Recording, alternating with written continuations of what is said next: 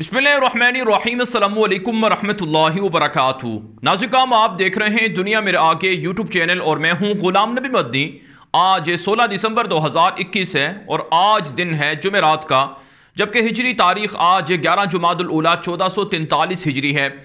नाजिकाम, इस वीडियो के अंदर अफ़गानिस्तान से और पाकिस्तान से कुछ अहम और ताज़ा खबरें हैं, वो आपके सामने रखने जा रहे हैं। अफ़गानिस्तान के अंदर तालिबान की इस्लामी इमारत कामयाबी से हकूमत कर रही है। तालिबान की मदद के लिए अफ़गानिस्तान की आवाम की ज़रूरियात को पूरा करने के लिए पाकिस्तान भी मेहनत कर रहा है। पाकिस्तान इसी हवाले से अफ़गानिस्तान की हुकूमत से रबते में है और अफ़गानिस्तान की आवाम के लिए ज़रूरियात और इमदाद क्या पहुँचाने का जो सिलसिला है पाकिस्तान की जानब से, वो भी जारी है। कल पाकिस्तान के अंदर एक बड़ा इजलास हुआ है, जिसमें पाकिस्तान के army chief general Qamar Bajwa Pakistan के D ji I S I और पाकिस्तान के इंटेलिजेंस इदारों के लोग हैं और पाकिस्तान के वज़ीर अजम इमरान खान, पाकिस्तान की हुकूमत के जो वज़रा हैं, वो सब के सब शरीक हुए हैं। इस इजलास के अंदर अफ़गानिस्तान की बदलती सूरत हाल पर गौर फ़िक्र हुआ है, तबादला ख्याल हुआ है। पाकिस्तान के वजी अजम इमरान खान ने कहा है कि अफ़गानिस्तान की हर मुमकिन मदद जारी रखेंगे। अफ़गानिस्तान की आवाम को इस वक्त बहुत से मसाइल का सामना करना पड़ रहा है। आलमी बरदरी से हम रबते में हैं और उन्हें कायल कर रहे हैं कि अफ़गानिस्तान के अंदर अमन अमान बहाल हो चुका है। अफ़गानिस्तान की नई हुकूमत से किसी भी मुल्क को ख़तरा नहीं होना चाहिए।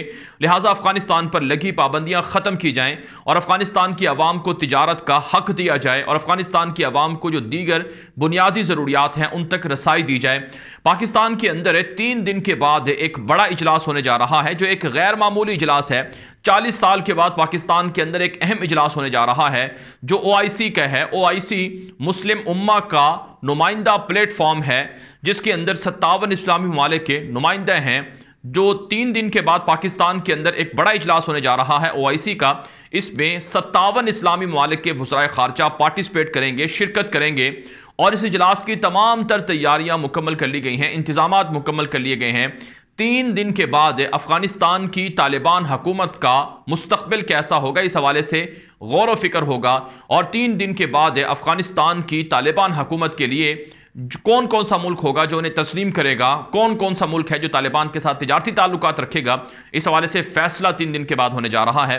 कहा जाता है कि ओ आई सी का जो इजलास तीन दिन के बाद उन्नीस दिसंबर को होने जा रहा है इस्लामाबाद में, यह अफ़गानिस्तान की नई इमारत इस्लामी के लिए एक इंतहाई अहम इजलास है और यह अफ़गानिस्तान के मुस्तबिल का फैसला करेगा और दुनिया के सत्तावन इस्लामी मालिक को पाकिस्तान कायल करेगा। कि अफ़गानिस्तान को तस्लीम करना कितना ज़रूरी है।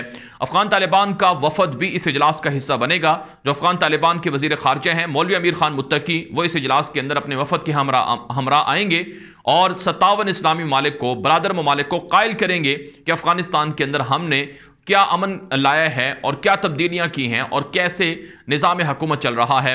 नाजी काम इतलात ही सामने आ रही हैं कि पाकिस्तान दुनिया का वो पहला मुल्क बनने जा रहा है जो तालिबान को तस्लीम कर सकता है। आपको याद दिलाना चाहेंगे कि अभी तक किसी भी मुल्क ने एलानिया तालिबान हुकूमत को तस्लीम नहीं किया है, लेकिन पस पर्दा तालिबान को तस्लीम करके ताल्लुक बहुत से ममालिक शुरू कर चुके हैं। इसमें नाजी काम पाकिस्तान है चाइना है, कतर है, सऊदी अरब है मुतहदा अरब इमारात है, तुर्की है और इसके अलावा रशिया है। और नाजुक काम, उज़्बेकिस्तान है, तुर्कमानिस्तान है, और इसके अलावा इंडोनेशिया है, और दीगर कई ममालिक हैं जो तालिबान को तस्लीम करके ताल्लुक शुरू किए हुए हैं, और तालिबान के साथ सफारती ताल्लुक तजारती ताल्लुक माशी ताल्लुक भी उनके जारी हैं। वाराणसी काम अच्छी बात है, पाकिस्तान इस हवाले से अपना पॉजिटिव रोल प्ले कर रहा है, और ये पाकिस्तान की ज़िम्मेदारी है, क्योंकि अफ़गानिस्तान के जो मुसलमान हैं, अफ़गानिस्तान की जो आवाम है, वो पाकिस्तान के भाई हैं। बतौर मुसलमान होने के उनका भी उतना ही हक है जितना कि पाकिस्तानी आवाम का है? और इस सिलसिले में पाकिस्तान यकीन इस्लामी ममालिक में सबसे ज़्यादा रोल अफ़गानिस्तान की आवाम के लिए और अफ़गानिस्तान की हुकूमत के लिए प्ले कर रहा है। नाजिका में एक और ख़बर आपके सामने रखते हैं। अफ़गान तालिबान के सबक आर्मी चीफ रहे हैं मुला उमर मुजाहिद रहमहुल्ला के ज़माने में, जिनका नाम मुला मोहम्मद फाजिल मसलूम है। जो अफ़गानिस्तान की मौजूदा हुकूमत के अंदर नायब वज़ीर दिफा हैं, मुल्ला मोहम्मद याकूब जो तालिबान के बेटे हैं, मुल्ला उमर मुजाहिद के बेटे हैं, उनके वो नायब भी हैं, मुल्ला फाजिल मजलूम को गवानता नामों के अंदर कैद रखा गया था और उन पर जुल्म हुआ था और यह तालिबान के सीनियर रहनुमाओं में शुमार होते हैं और अफ़गानिस्तान के मुस्तबिल के लिए दिफाई निज़ाम को यही मज़बूत कर रहे हैं। इन्होंने पंजशीर का दौरा किया है, इनकी वीडियो भी वायरल हुई है। अफ़गान तालिबान के ज़राए बता रहे हैं कि ये ये वही तालिबान के आर्मी चीफ हैं जिनको अमरीका ने गिरफ़्तार करके गवानता नामों के अंदर कैद रखा और इनको धमकियाँ दी कि तुम्हें हम इतना मारेंगे कि तुम ख़त्म हो जाओगे, तुम्हारी ना तो हुकूमत आ सकेगी और ना ही तुम दोबारा अफ़गानिस्तान के अंदर जा सकोगे। लेकिन अल्लाह ताला ने इनको रिहाई भी दी और इनको हुकूमत भी दी और अमरीका और उनके इतिहादियों को जलील खार किया और आज ये अफ़गानिस्तान के मुख्तलिफ़ सूबों का दौरा करके अमन अमान और दिफाई निज़ाम और इंतज़ाम का जायज़ा ले रहे हैं। मुला फाजल मजलूम पंशीर पहुँचे हैं, जो पंशीर बागियों का गढ़ था, जहाँ सोवियत यूनियन का ज़माने का असलहा भी छुपाया गया था। अमरीका और नेटो का असलहा भी छुपाया गया था, जहाँ से अहमद शाह मसूद का बेटा और अमरुल्ला साले जैसे बागी तालिबान पर हमले करते रहे। तालिबान ने इस पूरे इलाके को क्लियर कर लिया है और कोई भी बागी यहाँ पर नहीं छोड़ा गया है। नाजुका में एक और खबर अफ़गानिस्तान से आपके सामने रखते हैं। अफगान तालिबान के वज़ीर बरए पेट्रोलियम और मादनियात मुला शहाबुद्दीन दिलावर हैं। उन्होंने ताज़ा बयान दिया है कि अफ़गानिस्तान के अंदर मादनियात की तलाश का सिलसिला वसी कर दिया गया है। अफ़गानिस्तान के अंदर लिथियम का ख़जाना मौजूद है, जो सऊदी अरब के पेट्रोल से भी ज़्यादा ज़्यादा दुनिया की ज़रूरत है मुस्तबिल के लिए तो अफ़गानिस्तान के अंदर जहाँ कहीं मादनियात हैं, ये मादनियात हुकूमत की नहीं हैं, बल्कि ये मादनियात अफ़गान अवाम की हैं।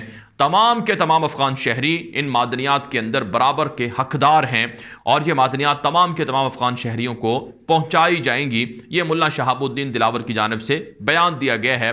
इसका मतलब ये है कि इस्लामी हुकूमत, इस्लामी निज़ाम व अफ़गानिस्तान के अंदर पाई जाने वाली तमाम मादनियात की जो मादनियात के जो सम्राट हैं, जो नतज हैं, वो आवाम तक ज़रूर पहुँचाएँगे।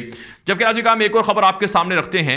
ये ख़बर है नाजिर कराम, अफ़गानिस्तान के लिए सऊदी अरब की इमदाद का सिलसिला शुरू हो गया है। सऊदी अरब ने अफ़गानिस्तान के अंदर अपनी एम्बेसी खोल दी है। तालिबान के साथ रबते और बातचीत का सिलसिला भी वसी कर दिया गया है। सऊदी अरब ने पहली मरतबा अफ़गानिस्तान के लिए चार जहाज़ों का इमदादी सामान भेजा है जिसके अंदर ज़रूरतमंदों के लिए खुराक, अद्वियात और इसी तरह से मौसम सरमा के लिबास वगैरह दिए गए हैं और मजीद भी इमदादी सामान सऊदी अरब की जानब से भेजा जाएगा। इस हवाले से सऊदी अरब के सफारत खाने ने तालिबान को यकीन दहानी कराई है। अच्छी बात है, दुनिया के बहुत से मुल्क तालिबान को तस्लीम करके ताल्लुक बना रहे हैं। आज काम एक और बड़ी खबर आपके सामने रखते हैं। ये खबर है अफ़गानिस्तान के अंदर ज़ख़ीरा अंदोज़ों के खिलाफ तालिबान की कार्रवाई की।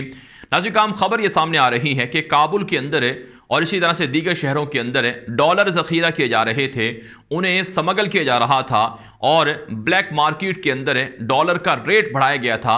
अफ़गान तालिबान ने इस हवाले से काम, कामयाब कार्रवाई की है और ज़ख़ीरा अंदोज़ों को पकड़ा है, ब्लैक मेलर्स को पकड़ा है, जो अफ़गानिस्तान की करेंसी है, उसके मुकाबले में जो डॉलर है वो काफ़ी महँगा हो गया था। 109 अफ़गान करेंसी का एक डॉलर मिलता था, जबकि जब तालिबान की हुकूमत आई थी, उस वक्त नबे जो अफ़गान पैसे हैं, उनके मुकाबले में डॉलर था। लेकिन अफ़गान तालिबान की मुदाखलत के बाद अब दोबारा वही पुराना रेट बहाल हो गया है। ये ये एक नतीजा है और ये एक एक कार्रवाई का अमली सबूत है कि अगर इस्लामी मुल्कों के अंदर, बिलखसूस पाकिस्तान के अंदर भी ज़ख़ीरा अंदोज़ों के ख़िलाफ़, माफिया के ख़िलाफ़ कार्रवाई की जाए और अफ़गान तालिबान की तर्ज की कार्रवाई हो तो ना तो पाकिस्तान के अंदर रुपया डिवेल्यू हो सकता है और ना ही पाकिस्तान के अंदर ज़ख़ीरा अंदोज़ और माफिया हुकूमत को या आवाम को परेशान कर सकते हैं। बदकस्मती ये है कि पाकिस्तान के अंदर माफियाज इस कदर ताकतवर हैं कि हुकूमत उन पर हाथ नहीं डाल सकती है। इसका मतलब यह है कि हुकूमत के अंदर के लोग और हुकूमत के इर्द गिर्द के लोग भी माफियाज का किसी न किसी तरह से साथ देते हैं, जिसकी वजह से माफियाज ताकतवर हैं। लिहाजा नाजिर काम अफगान तालिबान की जो स्ट्रेटजीज़ हैं, जो हमत अमली हैं, उन्हें पाकिस्तान को भी अप्लाई करना होगा। पाकिस्तान के अंदर पेट्रोल महँगा है और दीगर ज़रूरियात ज़िंदगी महँगी हैं, जिसकी वजह से लोग पिस रहे हैं। लिहाजा हुकूमत को अफगान तालिबान की स्ट्रेटजीज़ पर अमल करना चाहिए। अब नाजिर काम आपको आखिर में अफगान तालिबान की जो कार्रवाइयाँ हैं, दाइश के खिलाफ इस हवाले से तालिबान का जो इंटेलिजेंस इदारा है, जिसका नाम जनरल डायरेक्टरेट इंटेलिजेंस है जीडीआई उसका नाम है। दाइश के खिलाफ है तालिबान का इंटेलिजेंस इदारा, तालिबान की एजेंसी किस तरह से काम कर रही है?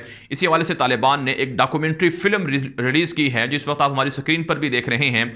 तालिबान ने इससे यह बात वाजह की है कि दाइश जो खवारिज हैं, जो अफ़गानिस्तान के अमन के लिए तबाही का सबब हैं, जो अफ़गानिस्तान के अंदर निहत्ते लोगों पर हमले करते हैं, उनके ख़िलाफ़ तालिबान के तमाम के तमाम इदारे मुतहरक हैं। तालिबान का इंटेलिजेंस इदारा मुतहरक है। तालिबान की बदरी फ़ौज मुतहरक है फ़ातह फ़ौज मुतहरक है, मंसूरी फ़ौज मुतहरक है। नाजिक काम, इससे बुनियादी तौर पर जो डॉक्यूमेंट्री रिलीज़ की गई है, इसका मकसद ये है कि दाइश के ख़िलाफ़ जो हमारी कारकर्दगी है, इसे तस्लीम किया जाए। तालिबान के मुजाहिदीन, तालिबान की फ़ौज है, हर तरह के ख़तरे से निमटने के लिए तैयार है, तालिबान ने वाजे कर दिए है। बारह नजी काम, ये वीडियो दोस्तों के साथ व्हाट्सअप पर फेसबुक पर ट्विटर पर इंस्टाग्राम पर, हर जगह पर शेयर करें, ताकि लोगों को मालूम मिले, लोगों को हक़ मिले, लोग छूट से प्रोपेगेंडे से बच सकें। अपनी राय कॉमेंट के ज़रिए से व्हाट्सअप के ज़रिए से दिया करें। आपके राह की रोशनी में वीडियोज़ को मजीद अच्छा और बेहतर बनाया जाता है। अब तक के लिए इतना ही इजाज़त दीजिए। असल वरहमल वर्का